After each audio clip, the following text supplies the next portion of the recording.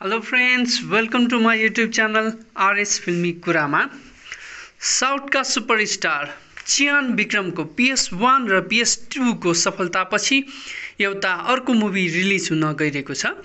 जुन मुभीको नाम हो तङ्गलान एक मिनट बत्तिस सेकेन्डको टिजर मात्र हेर्दा पनि बाहुबलीको टक्करको मुभी बनेको छ भन्दा फरक नपर्ला।